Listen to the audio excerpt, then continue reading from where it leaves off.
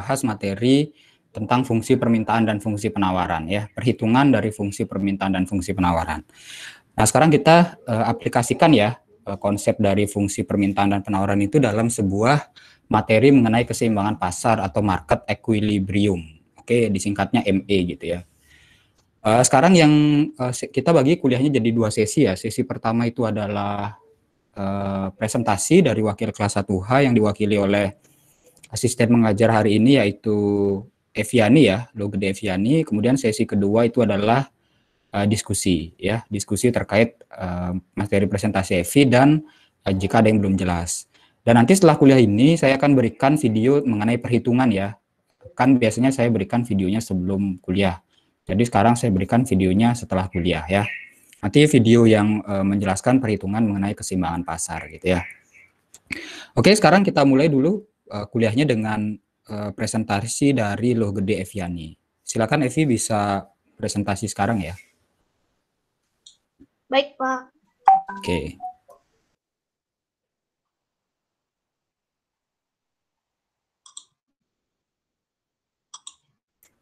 Uh, jadi kita akan lihat kapan misalkan terjadi keseimbangan pasar atau apa yang menyebabkan keseimbangan pasar itu terjadi. Kemudian kenapa grafiknya silang gitu ya. Nah, sebentar Evi yang akan menjelaskan ya.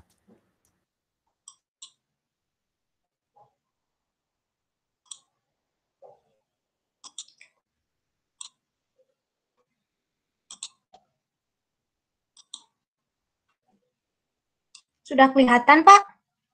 Oke, sudah warna putih ya latarnya ya, Evi ya? Iya. Bisa dimulai, Pak? Ya, silakan.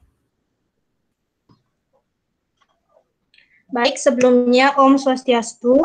Perkenalkan, nama saya Logo Deviani, saya dari sekolah 1H uh, dengan NIM 201-705-1236. Di sini saya akan mempresentasikan mengenai keseimbangan pasar.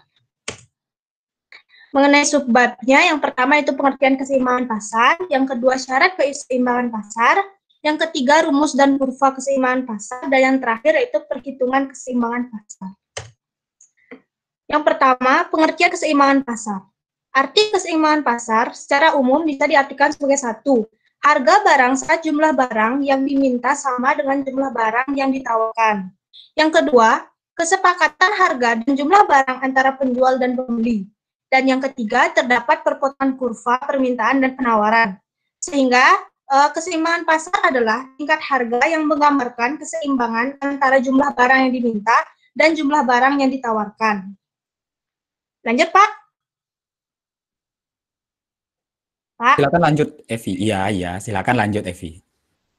Selanjutnya itu syarat-syarat keseimbangan pasar. Yang pertama, yaitu titik-titik keseimbangan pasar hanya berlaku pada nilai-nilai positif. Yang kedua, titik keseimbangan pasar hanya berlaku untuk titik yang memenuhi ketentuan bagi kurva permintaan dan kurva penawaran. Yang ketiga, rumus dan kurva keseimbangan pasar ditentukan oleh permintaan dan penawaran. Nah, ini merupakan rumus keseimbangan pasar. Oke, saya potong Evi sebelum bahas rumus, kita bahas yang pengertian dulu ya. Baik. Uh, balik ke slide yang kedua itu. Nah, pertanyaan saya ke Evi sama teman-teman kelas 1H, kapan keseimbangan pasar itu terjadi berarti? Keseim menurut saya Pak ya, Oke, slide-nya slide-nya pindah ke atas oh, itu iya. Evi ke yang slide kedua kalau nggak salah yang yang ada syarat keseimbangan pasar gitu ya. Hmm. Lagi sekali lagi sekali naik lagi sekali naik. Dah. Nah, jadi uh, kapan keseimbangan pasar itu terjadi? Baik Bapak, saya akan menjawab. Keseimbangan pasar terjadi ketika harga dan jumlah barang yang diminta ataupun ditawarkan dalam keadaan seimbang antara kurva permintaan maupun kurva penawarannya. Itu menurut saya, Bapak. Oke, menurut teman-teman yang lain, apa eh, kapan keseimbangan pasar itu terjadi? Evi, silakan tunjuk temannya satu. Uh, temannya? Ya. Apa ya? Mei. Mei, Mei Ningsih. Ningsih, silakan dijawab kapan keseimbangan pasar itu terjadi.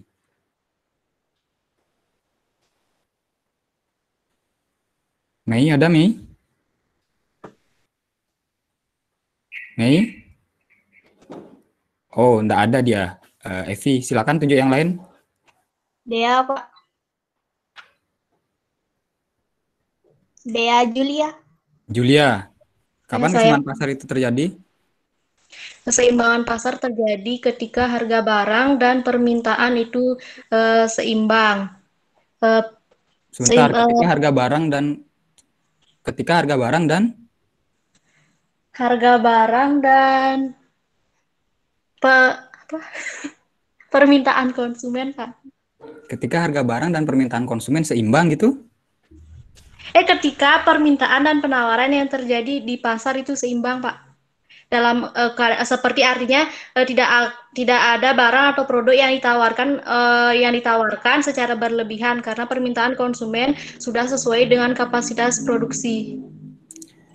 Nah, oke agak kurang sulit dipahami ya. Susah sekali dipahami pengertiannya Julia. Boleh saya menambahkan? Ya, silakan Evi. Eh, saya jawab lagi. Eh, di mana keseimbangan pasar terjadi, eh, di mana produsen maupun konsumen tidak ingin menambah ataupun mengurangi eh, jumlah eh, jumlah barang eh, yang dikonsumsi ataupun diproduksi eh, dalam. Eh, Oke, jawabannya di slide berikutnya. Tuh jawabannya ada di slide berikutnya. Saya jelasin. Coba lihat slide berikutnya deh, Evi. Syarat keseimbangan pasar. Slide berikutnya setelah ini. Nah, itu kan eh, pertama pertama keseimbangan pasar itu eh, sorry, fungsi permintaan dan fungsi penawaran itu kan ada dua variabel ya, ada dua faktor ya. Pertama adalah kuantitas barang dan harga barang kan gitu kan? Ya. Ya kan? Jadi dengan kata lain bahwa dengan asumsi ceteris paribus bahwa eh, kuantitas barang yang diminta atau yang ditawarkan itu selalu dipengaruhi oleh harga. Berarti ada dua faktor yang ada di fungsi permintaan dan fungsi penawaran yaitu kuantitas barang dan harga gitu kan, harga barang. Nah, keseimbangan pasar itu terjadi bila ada dua syarat ya, yaitu harga barang yang ditawarkan oleh produsen itu sama dengan harga barang yang diminta oleh konsumen. Oke, saya ulang syarat pertama dari terjadinya keseimbangan pasar eh, itu adalah apabila harga yang ditawarkan oleh eh, apa namanya produsen atau pedagang itu sama dengan harga yang diminta oleh konsumen. Kemudian syarat yang kedua, apabila kuantitas barang yang ditawarkan oleh produsen itu sama dengan kuantitas barang yang diminta oleh konsumen. Sampai di sini jelas ya? Jelas, Pak. Jelas, Pak. Jadi saya ulang, eh, fungsi permintaan dan fungsi penawaran itu akan terjadi, maka nanti rumusnya itu adalah QD sama dengan QS. QD itu kan eh, kuantitas demand ya, sama dengan kuantitas supply, atau PD sama dengan PS. Price demand sama dengan price supply. Itu ada di slide-nya Evi nanti. Jadi keseimbangan pasar itu terjadi eh, dengan dua syarat. Satu, eh, jika harga barang yang ditawarkan oleh produsen itu sama dengan harga barang yang diminta oleh konsumen atau yang eh, dan yang kedua kuantitas barang yang ditawarkan oleh produsen itu sama dengan kuantitas barang yang diminta oleh konsumen gitu. Sampai di sini jelas ya? Jelas, Pak. Dan pertanyaan saya adalah di diagram Cartesius nanti di mana kira-kira eh, keseimbangan pasar ini ada? Apakah di kuadran 1, kuadran 2, kuadran 3 atau kuadran 4? Kuadran 2. Kuadran 2 itu jawabannya ada di slide-nya Evi, poin pertama. Titik keseimbangan pasar hanya berlaku pada nilai-nilai positif. Itu artinya bahwa Di kuadran satu. dia akan berada di kuadran satu gitu. Jadi kalau agar bermakna, eh, maka eh, titik keseimbangan pasar itu ha- harus berada pada nilai-nilai positif dengan kata lain berada pada kuadran yang pertama atau kuadran satu. Oke, sampai di sini jelas konsep dari keseimbangan pasar? Jelas, Bapak. Ya, namanya seimbang kan berarti barang yang diminta sama dengan barang yang ditawarkan atau harga yang ditawarkan sama dengan harga yang diminta gitu. Oke, ada pertanyaan dulu terkait keseimbangan pasar. Eh, konsepnya karena nanti akan berhubungan sama rumusnya. Sampai di sini jelas ya? Jelas, Bapak. Oke, silakan lanjutkan Evi eh, presentasinya. Baik, selanjutnya itu rumus keseimbangan pasar. Eh, secara umum yaitu eh, QA atau eh, kuantitas equilibrium sama dengan QD atau kuantitas demand eh, sama dengan QS atau kuantitas supply ataupun biasanya juga menggunakan price price equilibrium sama dengan price demand sama dengan price supply. Itu secara umum rumusnya. Nah, terjemahannya eh, seperti rumus yang minggu lalu yaitu eh, Q eh, kuantitas demand yaitu min A ditambah B B dan eh, kuantitas supply yaitu A dikurang B B. Nah, ini merupakan namanya? ini merupakan grafik dari eh, kurva dari eh, rumus keseimbangan pasar. Di mana PE ini eh, merupakan eh, harga seimbang antara produsen dan konsumen dan QA ini merupakan jumlah eh, barang ataupun jasa yang ditawarkan ataupun yang diminta dari produsen maupun konsumen. Sampai di sana apakah sudah jelas? Oke, teman-temannya ditanya tuh sama Evi, apa sudah jelas? Sudah. Sudah. Perhatikan rumus yang pertama ya, itu QE itu bukan sama dengan ya, itu artinya tanda panah ya. Ya, tanda panah, Pak. QE itu berarti keseimbangan kuantitas itu sama dengan QD sama dengan eh sorry QE itu tanda panah QD sama dengan QS ya. Ya, Jadi rumus keseimbangan pasar itu persamaannya ada dua yaitu QD sama dengan QS atau PD eh, sama dengan PS gitu ya. Eh, kuantitas demand sama dengan kuantitas supply atau eh, price demand sama dengan price supply. Kemudian rumus yang terjemahan di bawahnya itu itu sama seperti rumus yang kemarin kita bahas ya. QS sama dengan QD gitu. Itu di eh, materi sebelumnya. Nah, sekarang perhatikan grafiknya tuh. Yang mana disebut equilibrium atau titik equilibrium di grafik yang eh, silang itu? Sebelah mana itu titik equilibriumnya? terdapat pada kuadran satu di mana di antar eh, di tengah di antara eh, kurva permintaan dengan kurva penawaran. Oke, jadi eh, sisi yang horizontal itu adalah kuantitas, sisi yang vertikal itu adalah price. Kemudian titik equilibrium itu adalah titik perpotongan antara kurva permintaan dan kurva Penawaran. penawaran. Jadi di mana dia berpotongan, maka itu adalah titik equilibrium atau market equilibriumnya. Kalau dia di eh, apa dicerminkan ke sumbu Q itu akan menjadi Q equilibrium. Kalau dia disum- dicerminkan ke sumbu P itu akan menjadi P equilibrium gitu. Jadi di sini kita mengenal ada eh, simbol baru ya. QD, QS, QE. QE itu berarti eh, kuantitas eh, keseimbangan, kuantitas equilibrium. Artinya bahwa kuantitas itu yang ditawarkan dan diminta oleh konsumen pada waktu yang bersamaan. Kemudian PS itu adalah eh, price eh, supply, PD itu adalah price demand, dan PE itu adalah price equilibrium, di mana PE itu berarti harga yang ditawarkan oleh konsumen dan harga yang diminta oleh konsumen eh, itu sama gitu. Oke, sampai di sini ada pertanyaan dulu teman-teman yang lain? Jelas ya? Jelas, Pak. Oke, silakan lanjutkan Evi. Nah, selain rumus secara umum, ini merupakan salah satu rumus keseimbangan pasar, yaitu yang dipengaruhi oleh pajak maupun subsidi. Ini yang pertama yaitu ada rumus eh, keseimbangan pasar setelah pajak. Yang merah ini menggunakan rumus eh, rumus yang kedua ya, yaitu eh, price eh, demand sama dengan price supply ditambah pajak. Dan atau Oh, maaf Evi, itu presentasinya belum terlihat yang pajak dan subsidinya. belum terlihat ya Pak ya? Iya. Ah, dalam bentuk slide aja deh. Kadang yang dalam bentuk eh, full ini agak lambat dia. Jadi dalam bentuk slide aja. Dalam bentuk PPT-nya itu jangan dibuat penuh. Ini. Ini yang Nggak. pertama. Sudah kelihatan Pak? Masih masih ini loh, masih di keseimbangan pasar gitu dia tampilannya. Coba lo eh, gini loh. Ah, ini dah udah, udah, Udah Pak? udah. Yang pertama yaitu ini rumus eh, set- keseimbangan pasar setelah pajak. Itu ada dua rumus. Maaf ya saya tulis atau. Eh, yang pertama yaitu eh, price demand sama dengan price supply ditambah pajak.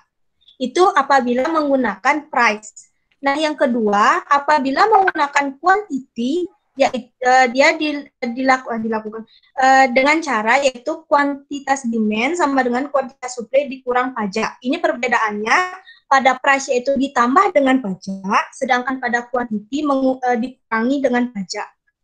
Itu yang rumus yang pertama. Selanjutnya rumus yang kedua yaitu rumus Oke, sebentar dulu. Teman-teman di sini paham nggak artinya subsidi itu apa? Teman-teman paham nggak apa artinya subsidi? Nggak paham, Pak. Subsidi nggak paham. Ada yang tahu Paham, Pak. subsidi itu apa maksudnya? Baik, saya Bapak jawab. Ya, silakan. Oke, Dila dulu Dila. Dila jawab apa? Subsidi itu apa? Bantuan, Pak. Bantuan, oke. Kira-kira kalau subsidi itu diberikan, eh, harga apa yang berpengaruh? Harga permintaannya atau harga penawarannya? Harga pada penawaran, Pak. Harga penawaran. Jadi lebih murah apa lebih mahal? Lebih, Lebih murah. murah. Lebih murah. Oke. Kalau pajak ke berpengaruh ke apa? Ke harga penawaran apa harga permintaan? Penawaran. Jadi lebih mahal apa lebih murah? Lebih mahal. Lebih mahal. Oke. Eh, Evi kita pending dulu yang pajak dan subsidi ya. Kita masuk ke perhitungan keseimbangan pasar dulu ya. Baik, Bapak. Ya, ada perhitungannya Nah, nggak? Ini eh, mohon maaf ya, ini perhitungan keseimbangan pasar. Ini saya buat tabel soalnya dan ini eh, rumus untuk KID-nya. Dan saya mendapatkan eh, fungsi KID sam- eh, yaitu min 5P ditambah Nah, sebentar 40. dulu bisa dijelaskan soalnya itu gimana maksudnya? Tabel itu gimana, Evi? Eh, baik, contoh soalnya yang pertama, tentukan keseimbangan pasar dari data tabel berikut, yaitu di mana price, harga, ketika harganya 5, kuantitasnya, eh, kuantitas permintaannya yaitu 20, dan kuantitas eh, penawarannya, penawarannya itu 10. Yang kedua, yaitu pada harga 7, kuantitas eh, yang diminta yaitu 10, dan kuantitas yang ditawarkan yaitu 20. Sedangkan pada harga 10, kuantitas yang diminta yaitu 5 dan kuantitas yang ditawarkan yaitu 35. Selanjutnya kita eh, cari dulu Oke, eh, sebentar Evi saya potong. Saya jelaskan dulu maksud soalnya ya. Jadi di sana itu ada data pasar ya. Data pasar dari eh, pertama itu adalah harga barang, kemudian kuantitas barang yang diminta dan kuantitas barang yang ditawarkan kan gitu ya. Jadi ada tiga kolom. Kolom pertama itu adalah perkembangan harga barangnya. Lihat harga barangnya naik kan, trennya naik ya, cenderung naik 5, 7, 10. Kemudian kolom kedua itu adalah kuantitas barang yang diminta. Eh, gimana trennya pasti turun ya. 20, 10 sama 5. Kemudian eh, kolom ketiga itu adalah kuantitas barang yang ditawarkan 10, 20 sama 35 pasti cenderung naik. Nah, ya kan? Jadi ini sesuai dengan eh, bunyi hukum permintaan dan hukum penawaran. Oke, sampai di sini jelas soalnya. Jelas Bapak. Oke. Nah, sekarang dari soal ini kita diminta untuk menentukan keseimbangan pasarnya atau membuat grafik keseimbangan pasarnya atau menentukan di mana titik keseimbangan pasarnya. Ya kan? Jadi biasanya soal kayak gini itu diketahui data pasar, ada harga, kuantitas barang yang diminta dan kuantitas barang yang ditawarkan. Kita diminta untuk satu eh, menentukan di mana titik eh, keseimbangan pasarnya dan yang kedua adalah menentukan grafik atau bentuk grafik dari keseimbangan pasarnya. Oke, sampai di sini jelas ya. Nah, kalau kita sekarang diminta untuk mencari eh, titik keseimbangan pasarnya, apa langkah pertama yang harus kita lakukan sekarang? Tadi rumus dari eh, apa namanya keseimbangan pasar adalah QD sama dengan QS. Jadi kalau kita diminta untuk mencari titik keseimbangan pasarnya, berarti langkah pertama yang harus kita lakukan adalah mencari fungsi permintaan dan penawaran. Ya benar ya. Jadi mencari fungsi permintaan dan fungsi penawaran gitu. Dan itu sudah kita pelajari di minggu lalu. Oke. Jadi kalau kita diminta untuk mencari tentukan di mana titik keseimbangan pasarnya, berarti kita diminta untuk mencari berapa harga yang ditawar, berapa harga yang disepakati ya oleh produsen dan konsumen, sama berapa kuantitas barang yang disepakati oleh produsen dan konsumen gitu. Jadi langkah pertama adalah kita mencari dulu kuantit eh, fungsi permintaan dan fungsi penawaran gitu. Silakan Evi jelaskan. Baik, yang pertama yaitu pertama kita mencari fungsi permintaan dulu. Sesuai rumusnya itu P kurang P1 sama dengan eh, per P2 dikurang P1 sama dengan Q eh, Q dikurang Q1 per Q2 dikurang Q1. Oke, ini Dan- Evi pakai titik koordinat yang mana? Pakai titik koordinat yang pertama dan yang kedua, Bapak. Berarti nanti untuk mencari fungsi fungsi apa namanya fungsi penawarannya juga pakai titik koordinat pertama dan kedua ya. Jadi jangan diubah-ubah. Cari fungsi permintaan dengan titik pertama dan kedua, kemudian yang penawaran pakai kedua dan ketiga. Jadi salah ya. Kalau pertamanya pakai satu dua, berarti penawarannya juga pakai satu dan dua ya. Silakan Evi lanjutkan. Selanjutnya eh, kita masukkan yang P1 yaitu 5, P dikurang 5 per eh, P2-nya itu 7 dikurang 5 sama dengan Q, masukkan Q1-nya, Q, Q yaitu 20 per 10 dikurang 20. Hasilnya yaitu P dikurang 5 sama dengan Q dikurang 20 per 2 sama dengan min 10. Selanjutnya eh, kita kali silang, kita dapatkan 2Q dikurang 40 sama dengan min 10P ditambah 50. Sehingga fungsinya menjadi min 5P ditambah 45. Oke, sampai di sini teman-temannya jelas mencari fungsi permintaannya? Jelas, Bapak. Oke, Jelas. sekarang lanjut ke fungsi penawaran, eh, Evi. Fungsi penawarannya saya menggunakan eh, titik koordinat 5 dan yang eh, yang eh, pertama dan yang ketiga. Eh, kita masukkan rumus. Oke, Ini- tadi permintaannya pertama dan kedua ya? Ya, Bapak. Terus sekarang yang penawaran pertama dan ketiga? Iya. Ya, harusnya tetap sama ya, Evi ya? Oh ya, Bapak. Maaf ya, Bapak ya. Ya, nggak apa-apa, saya yang salah karena saya yang mengajar. Eh, ya, harusnya pakai pertama dan kedua. Jadi teman-teman yang lain nanti kalau menghitung eh, titik koordinatnya diusahakan eh, sama ya. Kalau pertama dan kedua berarti baik permintaan dan penawaran juga pakai pertama dan kedua ya. Oke, Evi, lanjutkan. Eh, P dikurang P1 sama dengan eh, per P3 dikurang P1, mohon maaf, eh, sama dengan Q dikurang Q1 per Q3 dikurang Q1. Sama seperti yang di atas, kita masukkan sesuai urutan nomornya, yaitu P dikurang 5 eh, per 10 dikurang 5 sama dengan Q kurang 10 per 35 kurang 10 dan hasilnya yaitu P dikurang 5 per 5 sama dengan Q kurang 10 per 25. Sehingga mendapatkan hasil 5Q dikurang 50 sama dengan 25P dikurang 125 dan mendapatkan fungsi penawaran yaitu 5P dikurang 15. Sampai di sana apa yang ada yang belum paham? Silakan teman-temannya mencari fungsi penawarannya jelas ya. Oke, eh, jadi itu salah koordinat. Jadi kalau pakai satu dua berarti baik permintaan dan penawaran itu pakai juga satu dan dua ya. Jadi jangan dibeda-bedakan. Oke. Oke, saya rasa ini sudah gampang ya. Jadi dari langkah pertama ini kita dapat eh, apa fungsi permintaan dan fungsi penawarannya. Nah, sekarang ditanya titik keseimbangan, berarti langkah berikutnya gimana, Evi? Kita mencari titik keseimbangan dengan rumus QD sama dengan QS. Baik, mohon maaf ya, ini dia rumusnya itu QE yaitu QD sama dengan QS. Di mana QD yaitu min 5P ditambah 45 sama dengan 5P dikurang 15. Selanjutnya kita eh, kumpulkan eh, yang memiliki eh, variabel P yaitu min 5P dikurang 5P dan yang tidak memiliki variabel eh, kita masukkan ke eh, samping kanan yaitu min 45 dikurang 15 sehingga mendapatkan hasil 10P sama dengan min, 6, min 10P sama dengan 60 sehingga harganya itu price yaitu sama dengan 6. Selanjutnya eh, kita mencari key key sama dengan 5P kurang 15 maka eh, selanjutnya 5 kita P-nya masuk ke 6 eh, dikurang 15 sehingga hasilnya Q sama dengan 15. Nah, ini yang di yang di cetak tebal ini merupakan harga harga keseimbangan pasarnya, yaitu di mana harga 6, kuantitas demand-nya itu 15 dan kuantitas supply-nya yaitu 15. Sehingga keseimbangan pasar ditunjukkan pada koordinat 6,15. Sampai di sana apa yang ada yang belum ngerti? Oke, saya bantu penjelasannya Evi ya. Jadi untuk mencari eh, keseimbangan pasar itu simbolnya kan QE ya, Q equilibrium ya. Q equilibrium itu itu sama dengan QD sama dengan QS. Coba disorot tuh Evi pakai pakai kursornya. QD sama dengan QS. Biar kelihatan teman-temannya. Kelihatan ya? Udah ya? Nah, itu ya. Eh, ah, itu dah yang di bold sama Evi, eh, QD sama dengan QS ya kan? QD sama QS kan udah dapat di langkah pertama tadi ya untuk mencari fungsi permintaan dan penawaran.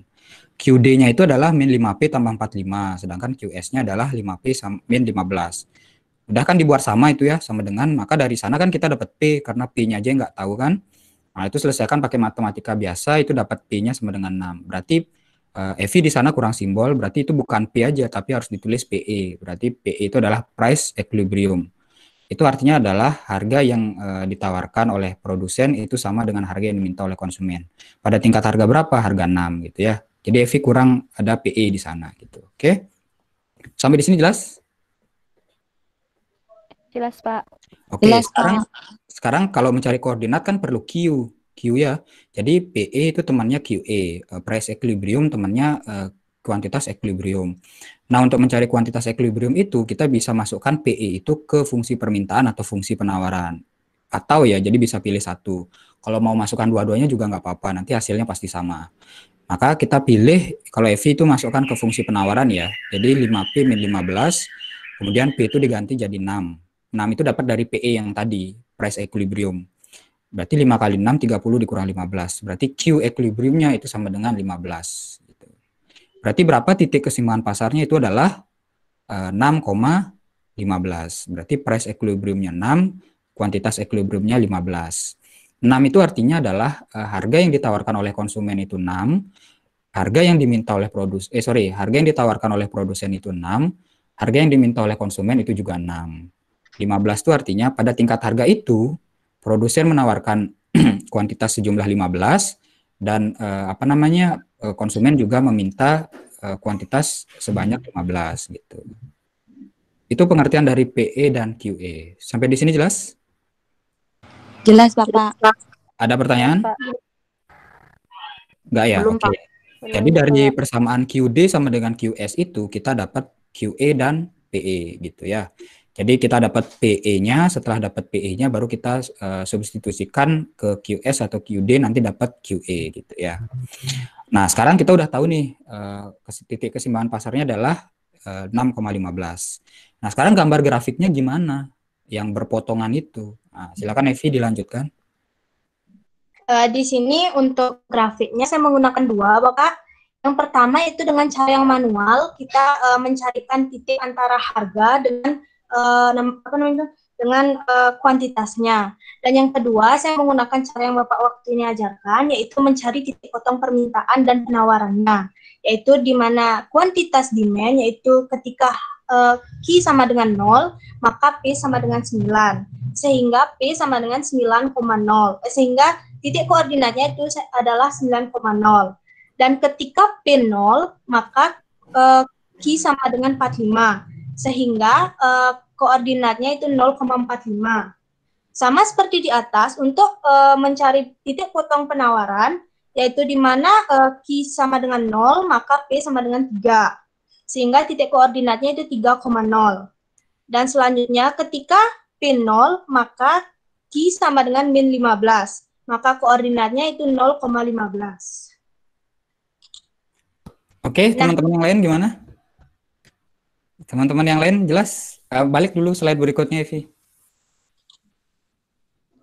Nah, kalau kita mau buat grafik, uh, sebenarnya kan kita udah tahu tuh titik potong koordinatnya ya. Uh, apa namanya? Uh, titik 15 sama 6 kan gitu ya. Nah, sekarang uh, kita harus mencari titik potong di sumbu X dan sumbu Y.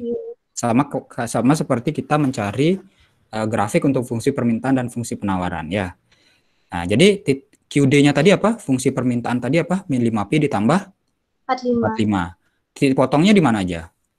Uh, di 9,0 dan 0,45. Oke, ini cara ini udah kita pelajari uh, minggu lalu ya. Jadi QD-nya 0, uh, kita masukkan QD 0, P-nya 9. Kita masukkan P-nya 0, uh, QD-nya 45 dan berlaku juga untuk QS.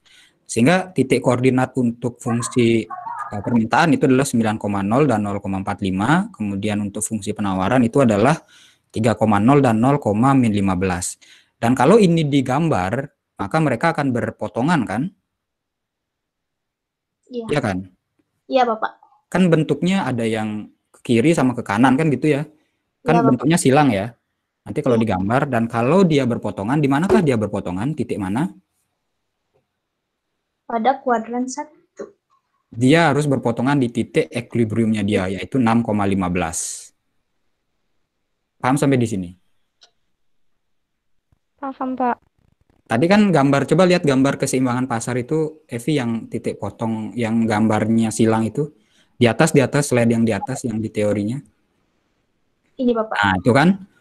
Kan tadi saya bilang nih, untuk mencari fungsi permintaan dan penawaran kan kita harus tahu titiknya dia di sumbu X sama sumbu Y kan, sumbu kuantitas sama price kan gitu.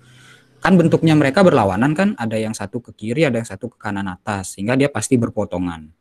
Nah, di manakah titik perpotongan itu, titik E itu, titik E-nya berpotongan di mana? Nih, yang di tengah itu, yang E itu, titiknya di berapa harusnya?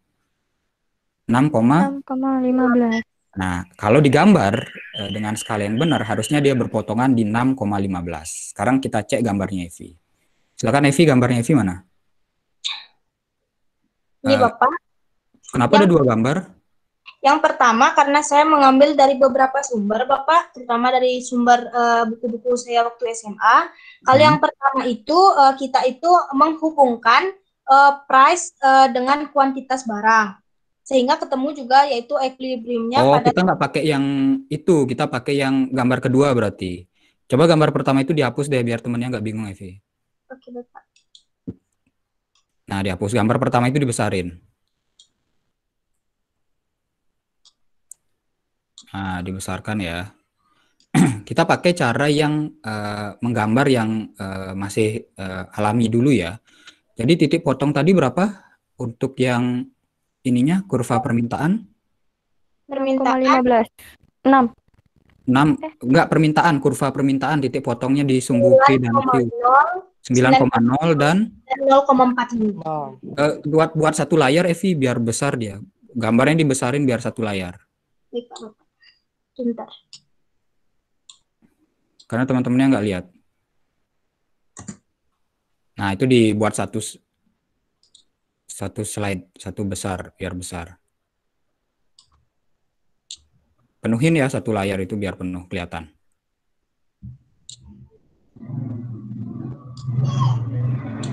Oke, dia pasti tempatnya di kuadran pertama ya, eh, karena titik keseimbangan pasar itu pasti bernilai positif dan dia akan berada di kuadran pertama gitu.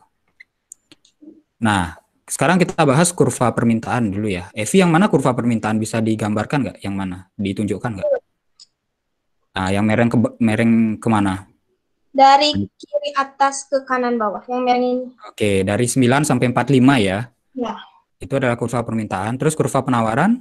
Ini dari eh, minus 15 eh, dan eh, 3, Bapak. Ya, harusnya Evi ambilnya titik koordinat 1 sama 2. Coba nanti Evi ulang yang kurva penawaran diambil titik koordinat 1 sama 2 ya. Kira-kira eh, gimana gambarnya? Karena itu kan tadi Evi salah ya, 2 sama 3 diambil. Baik, Nah. Brek, ya kan kurva permintaan dan penawarannya berpotongan tuh kan, silang gitu kan. Nah, Evi kan ada titik E tuh. Coba lihat titik E-nya, sentuh titik E-nya. Iya. Nah, titik E itu koordinatnya harus berapa? 6,15. 6,15. Kalau itu enggak 6,15 berarti hitungannya salah gitu. Oke, sampai di sini jelas? Jelas. Pertanyaan dulu, ada pertanyaan.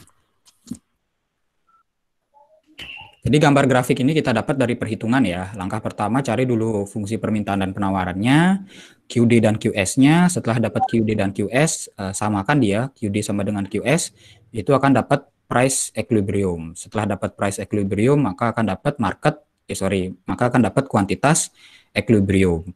Setelah dapat PE dan QE, eh, baru cari titik potong di sumbu Q dan P untuk fungsi permintaan dan fungsi penawaran. Dan kalau itu di garis silang seperti itu berpotongan, maka titik potongnya harus di titik market equilibriumnya alias ketemu PE dan QE-nya. Kalau nggak ketemu, berarti ada yang salah gitu. Oke, itu keseimbangan pasar. Ada pertanyaan? Keseimbangan pasar ada pertanyaan dulu? Semua jelas ya? Jelas, Jelas? Halo, semua jelas? Jelas, Pak. Oke. Jelas, Jelas, Pak. Pak. Nah, sekarang pertanyaan saya adalah apa fungsi atau manfaat kita mengetahui konsep keseimbangan pasar ini?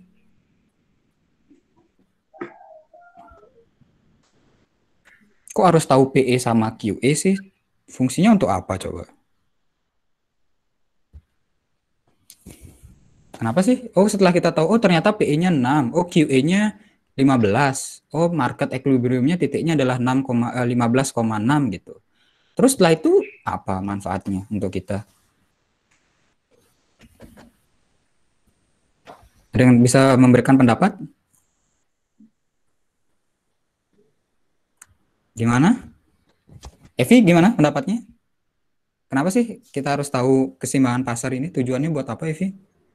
Eh, menurut saya, Bapak, dari kita mengetahui keseimbangan pasar ini, maka eh, kita itu eh, dapat mengetahui bagaimana eh, ke eh, apa namanya itu ke eh, langkah selanjutnya di mana eh, adanya faktor-faktor yang mempengaruhi antara eh, permintaan dan penawaran terutama dalam eh, subsidi maupun pajak. Itu menurut saya Pak. Oke, ya bagus analisanya Evi. Jadi tolong teman-teman yang lain cari ya apa eh, manfaat ketika kita mengetahui konsep keseimbangan pasar ini, baik dari sisi konsumen atau produsen. Ya utamanya produsen lah ya. Apa manfaat dari eh, kita mengetahui titik keseimbangan pasar ini? Itu tugas pertama. Silakan dibuat di buku catatan ya. Oke. Nah ini adalah keseimbangan pasar yang tidak dipengaruhi oleh pajak dan subsidi gitu. Nah, secara uh, umum, keseimbangan pasar itu juga bisa dipengaruhi oleh adanya pajak dan subsidi. Pajak itu maksudnya gimana? Pajak itu apa artinya pajak? Pajak adalah iuran wajib yang harus dibayarkan oleh wajib pajak kepada pemerintah eh, yang tidak da- yang tidak akan mendapatkan imbalan. Oke, nanti pajak itu berpengaruh ke yang mana? Eh, harga penawaran, apa harga permintaan, atau kurva penawaran, atau kurva per- permintaan, Evi? Menurut saya Pak berpengaruh eh, pada kurva penawaran dan eh, pada kurva per, per- penawaran Bapak. Oke, ada contoh soalnya nggak? Eh, ada Bapak sebentar. Oke, mana? Ini contoh soalnya. Oke, bisa dijelaskan? Baik, di sini saya akan menjelaskan mengenai perhitungan keseimbangan pasar eh, me- me- yang dipengaruhi oleh pajak maupun subsidi. Yang pertama yaitu keseimbangan pasar setelah pajak. Rumusnya QD sama dengan QS dikurang T. T itu adalah pajak. Min 5P, kita masukkan eh, rumus fungsi yang tadi, yaitu min 5P ditambah 45 sama dengan rumus QS yang tadi yaitu 5P dikurang 15 dikurang 5. Sama dengan min 5P ditambah 45 sama dengan min eh, 5P dikurang 20. Lanjut, min 5P kita eh, yang yang berisikan variabel P kita masukkan di kita kelompokkan dan selanjutnya min 20 dikurang 45 sehingga mendapatkan min 10P sama dengan min 65 sehingga P men- menjadi 6,5. Lalu kita mencari Q yaitu kita gunakan QS yaitu sama dengan 5 eh, P kita masukkan di sini yaitu menjadi 6,5 dikurang 15 sehingga hasil Q sama dengan 17,5. Maka titik eh, eh, P dan titik Q sama dengan 6,5 dan 17,5. Itu Bapak. Oke, sekarang eh, bayangkan kalau pemerintah memberikan pajak ya, maka yang berpengaruh itu adalah harga permintaan apa harga penawaran?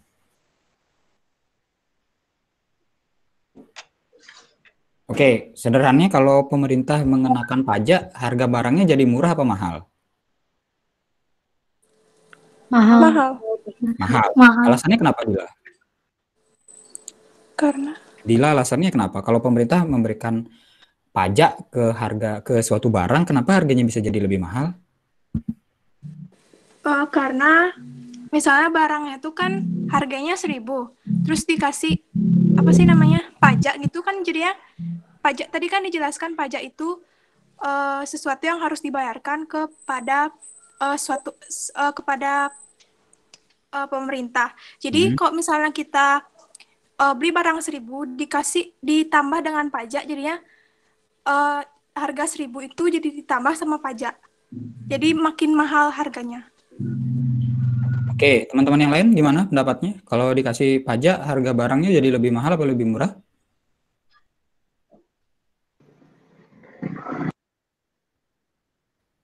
Silakan teman-teman yang lain pendapatnya.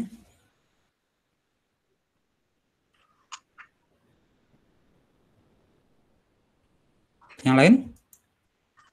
Oke, sekarang kalau subsidi, eh, gimana? Kalau pemerintah memberikan subsidi terhadap suatu barang, harganya jadi lebih mahal atau lebih murah?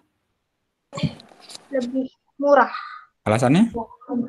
Karena kan pemerintah memberikan bantuan kepada eh, produsen dan konsumen sehingga eh, ketika harganya itu awalnya eh, mahal, jadi karena adanya subsidi jadi diturunkan menjadi lebih murah, Bapak.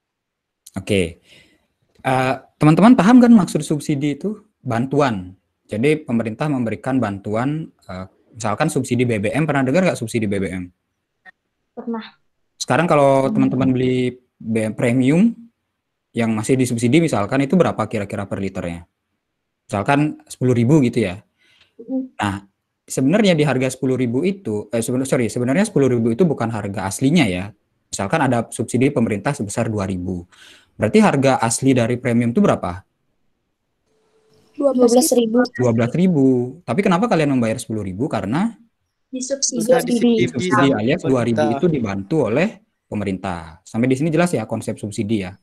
Jadi subsidi itu adalah bantuan eh, yang diberikan oleh pemerintah kepada konsumen gitu. Jadi kalau subsidi BBM kalian beli subsidi eh, kalian beli premium 10.000, kemudian pemerintah mensubsidi setiap liter premium itu 2.000 rupiah, itu artinya bahwa premium itu harga awalnya adalah 12.000, kemudian ketik, karena mendapat subsidi pemerintah itu sebesar 2.000, maka harganya menjadi lebih murah sebesar menjadi 10.000. Oke, itu konsep subsidi. Kalau konsep pajak gimana? Misalkan harga barang awalnya adalah 10.000, kemudian pemerintah memberikan pajak terhadap satu unit barang itu adalah 2.000, berarti harga setelah kena pajak jadi berapa? Harga awal barangnya adalah 10.000, kemudian pemerintah memberikan eh, kebijakan, oh barang ini setiap unitnya kena pajak 2.000, berarti harga barang setelah kena pajak jadi berapa?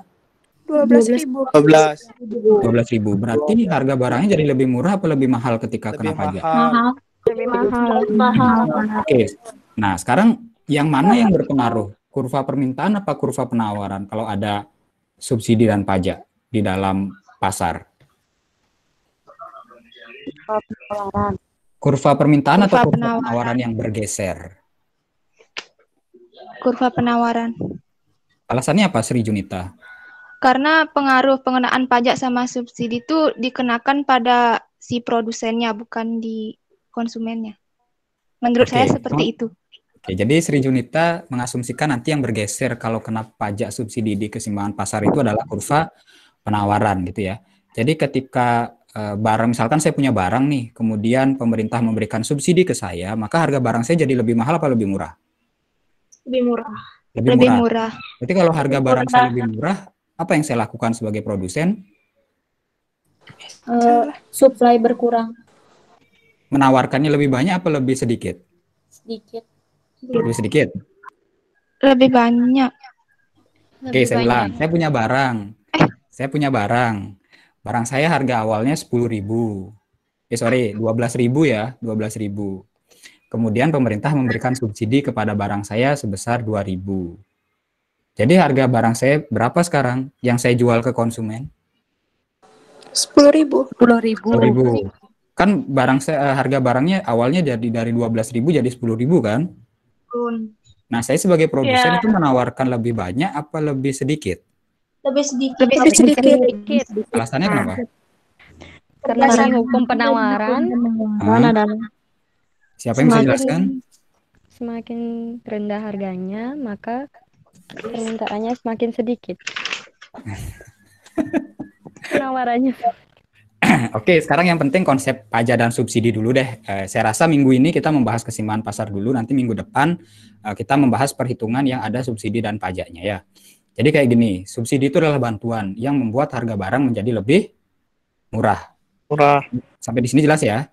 Jelas. Jelas. Pajak itu adalah pengenaan suatu pengenaan biaya ya atau pengenaan nilai tambah gitu atau jasa tambahan terhadap sebuah eh, barang sehingga harganya dia menjadi naik.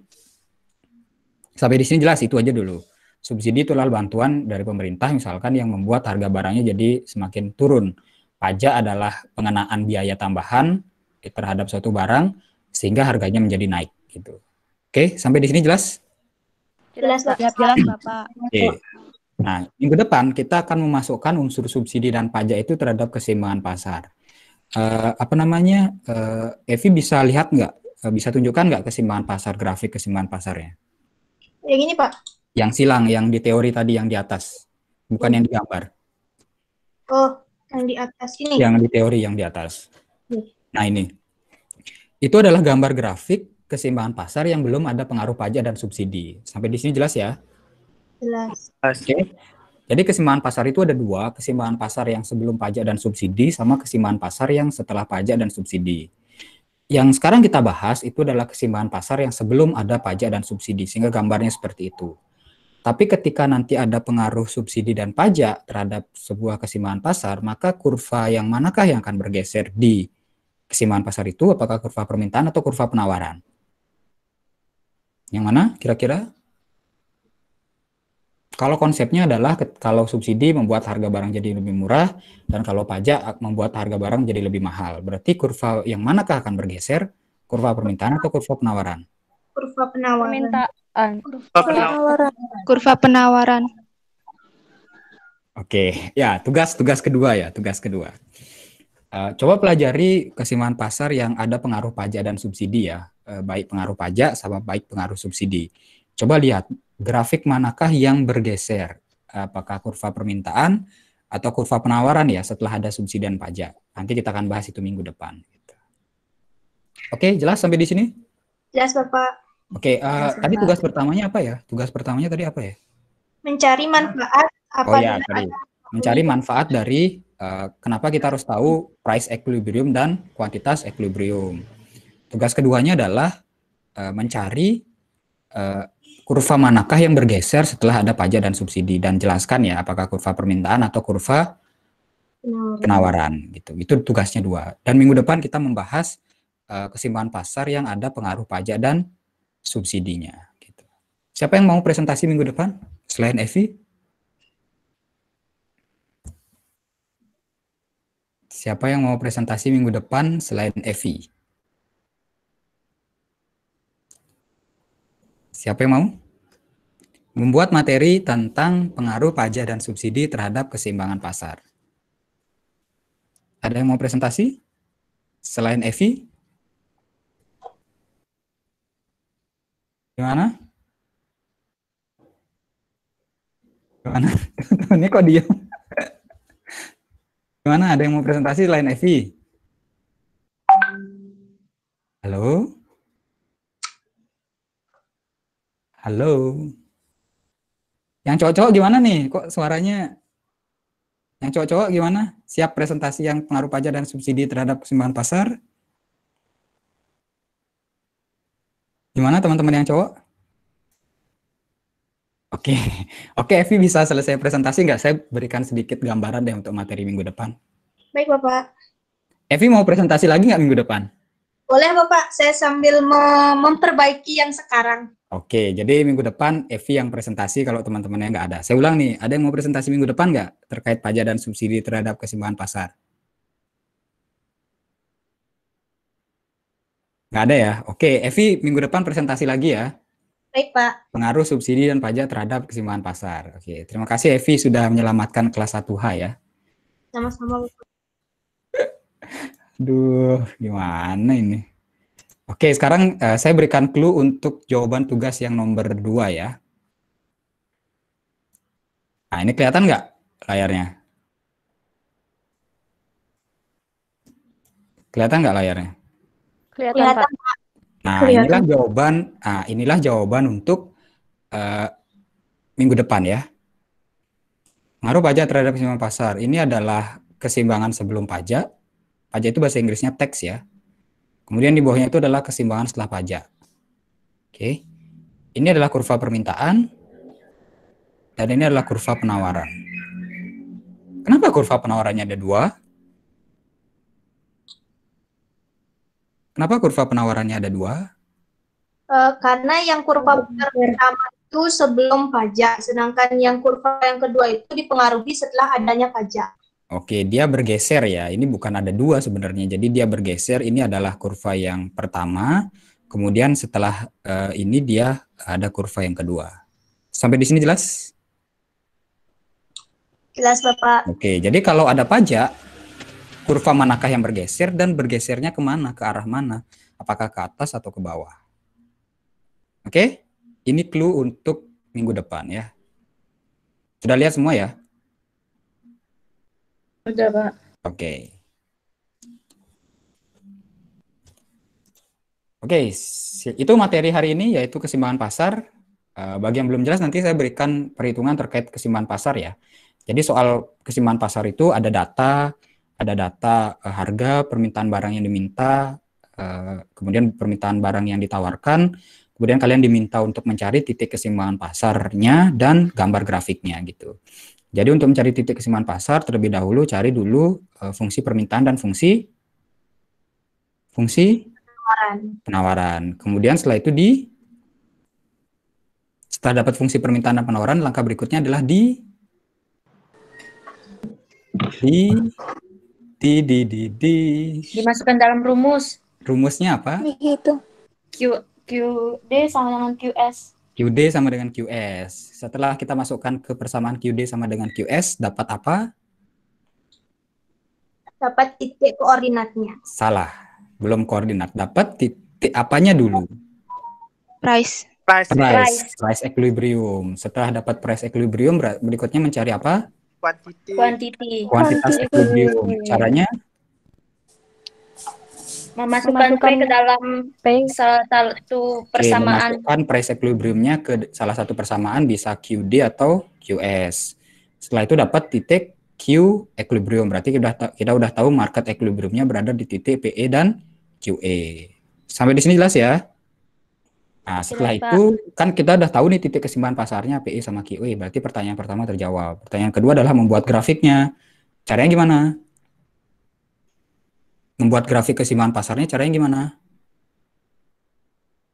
Ti titik foto. Ti, ti, apa Julia?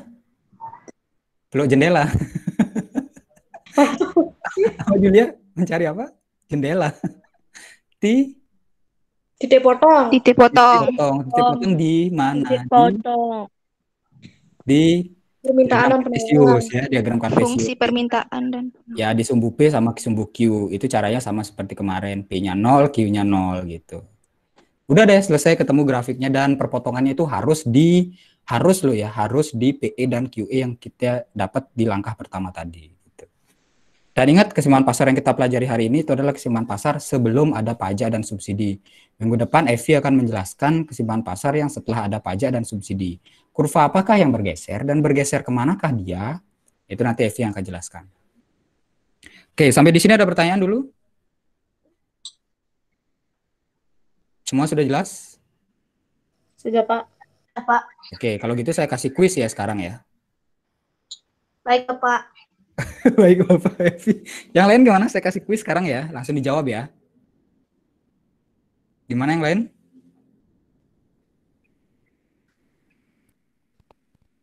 Ya, Iya, Pak. yang lain gimana? Saya Baik, kasih Pak. Dulu, coba dulu. Ya, Pak. Ya udah udah sore deh eh, biar nggak terlalu malam selesai kuliah.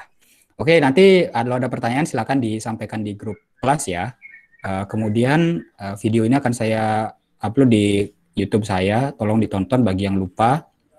Kemudian nanti akan ada video yang perhitungan keseimbangan pasar. Mungkin kalau tadi Evi buatnya kan sudah di PPT, jadi eh, mungkin masih ada yang bingung langkah-langkahnya. Eh, nanti saya akan jelaskan di eh, video yang eh, ada langkah-langkahnya yang oratoret itu. Oke, sampai di sini ada pertanyaan dulu? Ada pertanyaan? Tidak, Pak. Tidak, Pak. Kenny mana Kenny nih? Kenny mana Kenny? Nggak Oke. ada pertanyaan. Ada pertanyaan Kenny? Nggak ada? Oke, kalau nggak ada, terima kasih banyak sudah ikut kuliah hari ini. Minggu depan kita membahas eh, keseimbangan pasar dengan pengaruh pajak dan subsidi ya. Oke, dan di video ini saya nggak keluar lagi seperti minggu lalu ya.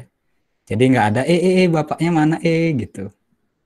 Akhirnya saya bisa tidur tenang ya, karena saya tahu apa yang diucapkan oleh kelas 1H ketika saya keluar kemarin gitu.